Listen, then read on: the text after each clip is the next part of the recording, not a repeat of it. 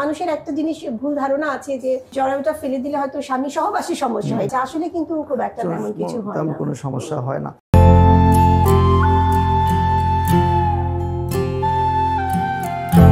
সুপ্রিয় দর্শক আসসালামু আলাইকুম।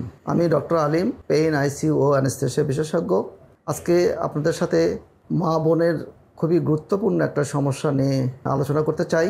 আপনারা জানেন যে এই পৃথিবীতে আসার আগে মায়ের পেটে আমাদের অবস্থান ছিল জরায়ুতে, সে জরায়ু সমস্যা নিয়েই আমরা আপনাদের সাথে আলাপ করতে চাই আজকে। যে জরায়ু না হলে যেটা আমাদের ভাষায় বলি ইউটেরাস না হলে আমাদের এই সুন্দর পৃথিবীতে আসা সম্ভব হতো না। সেই ইউটেরাস এত দরকারি একটা জিনিস কিন্তু অনেক সময় যখন এই ইউটেরাসটা ক্ষতির কারণ হয়ে যায় তখন জরায়ুকে ফেলে দিতে হয়। আমরা একটু আগে একজন মার জরায়ু কেটে ফেলে দিয়েছি। সেই জরায়ুটা আমরা কেন কাটলাম? হ্যাঁ, আর কি কারণে জরায়ুটা কাট কেটে ফেলে দিতে হয়? কেটে ফেললে কোনো অসুবিধা আছে কিনা? কীভাবে কেটে ফেলে দিতে হয়? ইত্যাদি বিষয় নিয়ে আজকে আমার সাথে শেয়ার করবেন ডক্টর শাহনাজ কুতুবি যিনি সিনিয়র কনসালটেন্ট হিসেবে কেন্দ্রীয় পুলিশ হাসপাতালে কর্মরত আছেন। পাশাপাশি প্রশান্তি হাসপাতালের গাইনি বিভাগের চিফ কনসালটেন্টের দায়িত্ব পালন করছেন। শাহনাজ কুতুবির কাছ থেকে আমি আসলে বৃত্তান্ত জানতে চাই যে এই জরায়ু এত দরকারি একটা জিনিস এই জিনিসটা কখন আমাদের ফেলে দিতে হয়? কুতুবি।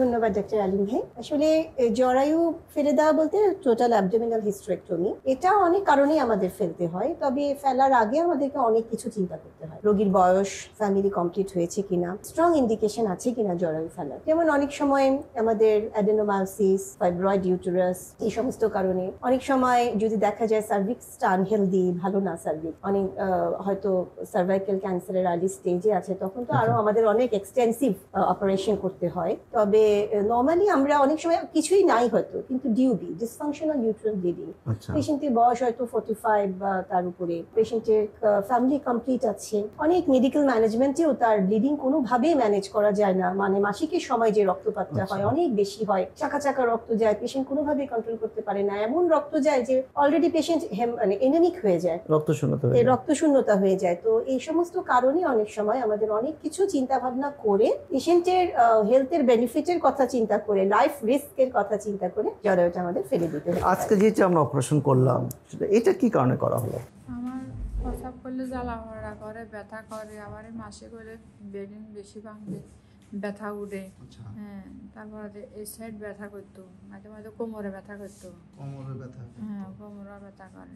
আজকের আমাদের পেশেন্ট হচ্ছে আমি যদি একটু পেশেন্ট প্রোফাইল আপনাকে বলি আমাদের পেশেন্টের নাম মিসেস জোহরা বিবি জোহরা বয়স ফর্টি টু তার ফ্যামিলি কমপ্লিট তিনটা বাচ্চা আছে। বড় মেয়ে অলরেডি বিয়ে দিয়েছেন উনি নাতিও আছে। আচ্ছা। ছোট বাচ্চার বয়স তেরো। তো উনি যে কমপ্লেনটা নিয়ে আসলে পুনে ফেনীতে থাকে ফেনীতে থাকে। প্রথম কমপ্লেন ওনার হয়েছিল দুই হাজার বারো সালে। তা চিন্তা করেন যে তখন আরও কত ইয়াং ছিলেন উনি। প্রায় একত্রিশ বছর বয়সে। তখন উনি যেটা নিয়ে এসেছিলেন ওনার প্রচণ্ড সাদা স্রাব দুর্গন্ধযুক্ত সাদা স্রাব হাজবেন্ডের আচ্ছা। সঙ্গে থাকলে অসুবিধা হয় জ্বালা পোড়া হয়। তখন কিন্তু ব্লিডিং এর তেমন সমস্যা ছিল না ওনার। মাসিকের সময় অত্যন্ত বেশি ব্লিডিং আচ্ছা। অনেক বেশি ব্যথা। হাজবেন্ডের সঙ্গে থাকলেও জ্বালা পোড়া হয় থাকতে পারে না। ঢাকায় আসার পর আমি ওনাকে আসলে একটু পরীক্ষা নিরীক্ষা করতে দিলাম। কারণ একটা ডিসিশন নেওয়ার আগে আমাকে ডেফিনেটলি আরও ক্লিয়ারলি ওটা প্রমাণ হতে হবে যে সত্যিই জড়া ওটা ফেলতে হবে আচ্ছা। তা না হলে তো আসলে আমরা চাই না। মানে কিছু পরীক্ষা নিরীক্ষার বিষয় এখানে আছে। এক্স্যাক্টলি পরীক্ষা নিরীক্ষা করে দেখা গেল যে আসলে জরায়ুটা খুব খারাপ adenomyosis bulky uterus chronic cervicitis cervix একটা আলসারেশন আছে লেফট লিপে আচ্ছা। তো এই অবস্থা।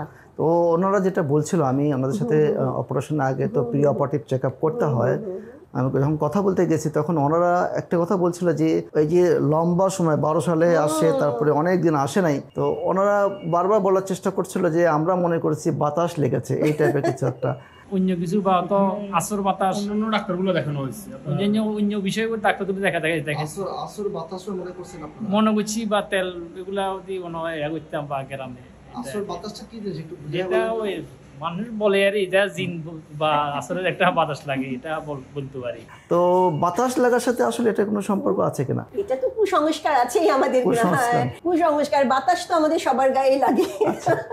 ওনারা যেটা বলতে চাচ্ছে হয়তো কোনো জিন ভূতের ব্যাপার স্যাপার। হ্যাঁ, জি। এটার তো কোনো মানে ইয়ে। সুযোগই নাই। তো এবং এই জিন ভূত চিন্তা করেই তো ফলো আপে আসেনি নিশ্চয়ই বুঝতে পারছেন। তো যাই হোক এই জন্য আচ্ছা, আমি এই অপারেশনটা যেভাবে করা হয়েছে পেট কেটে অপারেশন করা হয়েছে এটা বিকল্প কোনো ওয়ে আছে কিনা আমরা ল্যাপারোস্কোপিক্যালি করতেই পারতাম কিন্তু ওনারা আবার বলতে চাচ্ছেন যে না ম্যাডাম আপনি একটু দেখে শুনেও যখন যেহেতু আচ্ছা। করা যায় আপনি ওপেনই করেন আমাদের অসুবিধা তাছাড়া ল্যাপারোস্কোপিতে আপনি জানেন একটু আমাদের রেটটাও হাই খরচ বেশি। আর ল্যাপারোস্কোপির সাথে ওনারা খুব একটা পরিচিত না। আমি বলার পর মানে ওনার একটু মনে হয় আকাশ থেকে পড়লে এটা আবার কোনো হতে পারে না। তারা যেহেতু মনে করছে যে বাতাস লেগেছে তারা আসলে ল্যাপারোস্কোপি মানাটা সত্যি হ্যাঁ, কঠিন। কঠিন। আর যে যেটা বলছিলে যেটা হচ্ছে যে ভেতরে দেখে শুনে অপারেশন করা। এই ল্যাপারোস্কোপি অপারেশনে যখনই আমরা কাউকে অফার করি সবাই কিন্তু এই কথাই বলে যে এইভাবে অপারেশন করলে কিছু অংশ থেকে যাবে।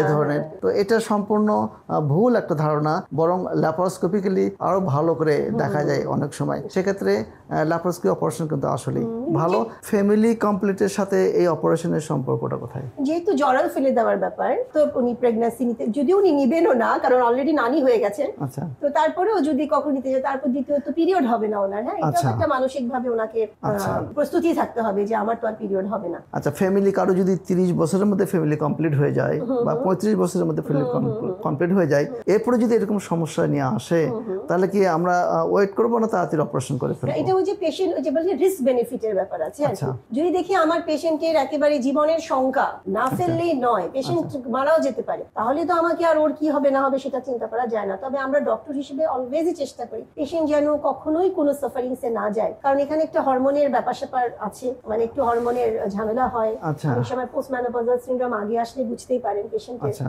লাইফ স্টাইলটা একটু অসুবিধা হয়ে আচ্ছা। যায় অনেক সময় হট ফ্ল্যাশ এসে। কিন্তু মানুষের একটা জিনিস ভুল ধারণা আছে যে জরায়ুটা ফেলে দিলে হয়তো স্বামী সহবাসী সমস্যা হয়। এটা কিন্তু একটা সমস্যা একটা ভুল ধারণা আছে। আসলে কিন্তু খুব একটা তেমন কিছু হয় তেমন কোনো সমস্যা হয় না। তারপরে বয়সের একটা ব্যাপার বলছিল যে পঁয়ত্রিশ বছর পরে বা পঁয়তাল্লিশ বছর পরে এটা আমরা সাধারণত কেটে ফেলতে সাজেস্ট করি।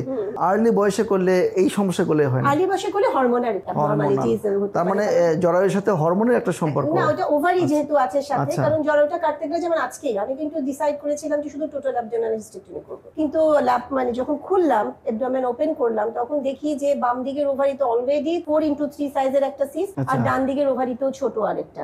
আচ্ছা।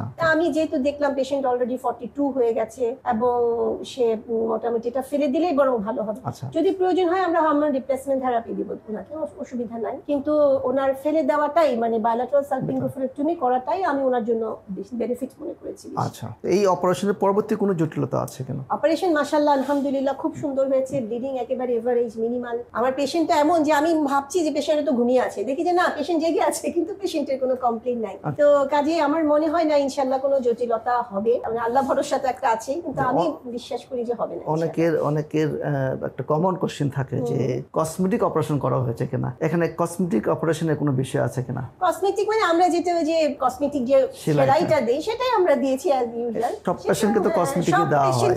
সুতরাং যারা কসমেটিক নিয়ে টেনশন করেন একদম টেনশন করবেন না। বর্তমান যুগে সব অপারেশনের সেলাইটা কসমেটিক সেলাই দেওয়া হয়। কসমেটিক সেলাইটা আসলে পার্থক্যটা একটা জায়গায় যে এখানে সেলাইটা দেখা যায় না বাইরে থেকে।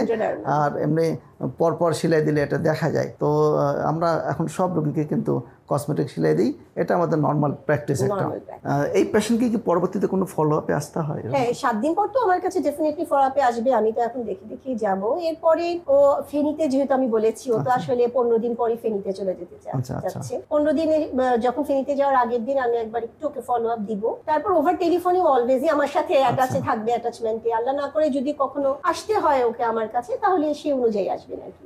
তো সুপ্রিয় দর্শক সুদূর ফেনী থেকে পেশেন্টটা আমাদের এখানে আসছে একটা জ্বরের অপারেশন করার জন্য। আসলে যে কোনো অপারেশন একটা টেনশনের বিষয় থাকে একটা ভয়ের বিষয় থাকে। পেশেন্ট যেখানে আস্থা পাবে সেখানে করাটাই মনে হয় সবচেয়ে ভালো। সেই সেজন্য আসলে রোগীটা ডক্টর শাহনাজ কুতুবির উপরে প্রচণ্ড আস্থা এবং দেখলাম যে অপারেশনের পরে তাদের মধ্যে আনন্দের একটা সাপ সাকসেসফুল অপারেশন হয়েছে। আমাদের পেশেন্টের জন্য আপনারা দোয়া করবেন। কতবি অসংখ্য ধন্যবাদ আমাদের সাথে থাকার জন্য। সবাই ভালো থাকবেন।